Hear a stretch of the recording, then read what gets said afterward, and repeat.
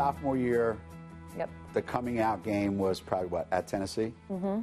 national television, Yep. and why all of a sudden that kind of performance out of nowhere?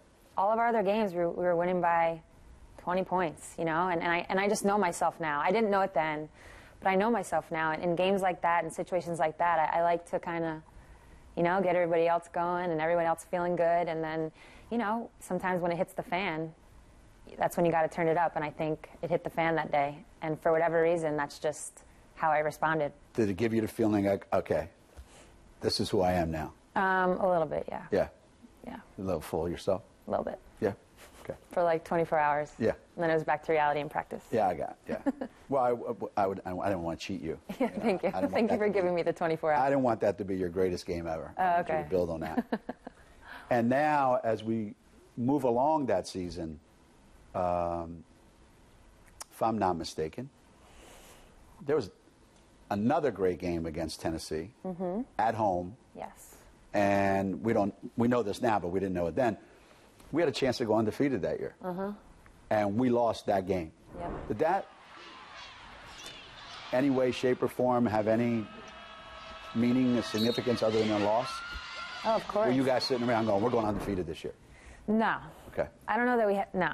That was conversations my senior year for sure. Okay. Um, but I don't know that we had that conversation then.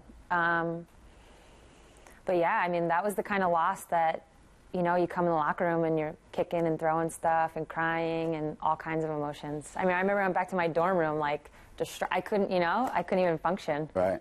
Um, probably missed class the next day, sorry. Yeah. Um, But you were so smart, you didn't have to go to class. I'm just kidding. Matter of fact, I'm surprised the professors didn't come to your dorm. They probably should have. Yeah, they should have. Yeah. help help me out. Um, but yeah, that was I mean that was that was killer, you know. And, and obviously, sometimes you look back and losses help you kind of. I think we probably wouldn't have beaten Tennessee the way we did in you know at the Final Four had we not lost to them. Right. Probably would have been a different game, but yeah, that loss hurt. Semeka Randall made a great shot. Actually, Yeah. made a couple great shots that last minute. Don't get me started. And we had a chance to win the game at the end. yes. And I drew something up for Sveta. Yeah. Were you pissed?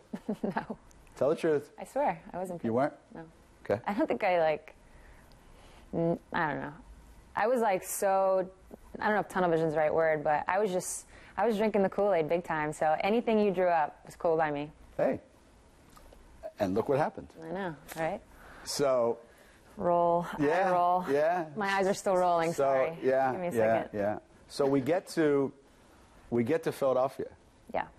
Um, and the Tennessee game Mm-hmm. for the national championship. Third time we played them that year. I thought shoot around that day was really, really good. It was light, Yeah. loose. And I remember. You were like cracking jokes. Yeah, I remember. Yeah. Because I just had this sense. Yeah. And I remember um, Jay Bilas was doing the uh, play-by-play uh, color, and he asked me. He said, well, "Give me a prediction. What do you think is going to happen tonight?" I said, "I don't know, Jay." I said, "But I got to tell you, if we play as well as we're capable of playing, uh, this is going to be really bad. We're going to win by a lot." Yeah. As the game is going on, and everything we're trying is working. That doesn't happen very often. Now No. that you look back No. on your career, It doesn't. but that day, everything we did turned out perfect. Yep. We could do no wrong, really. And they were getting frustrated, and the more frustrated they got, the better, you know, we did. And when it ended, and you did your, I still want to be a soccer player. It was more like a, a dare gone wrong, Somebody dared you to do it. pretty much. Huh. And And and I'm an idiot. and no. It's good and to show you what kind of players we had on our team. Yeah. All those dummies, they all dove on top. Right. They all did the same thing. That's the best part. That's that's the best part. Yeah. we were a team. Yeah, absolutely, absolutely.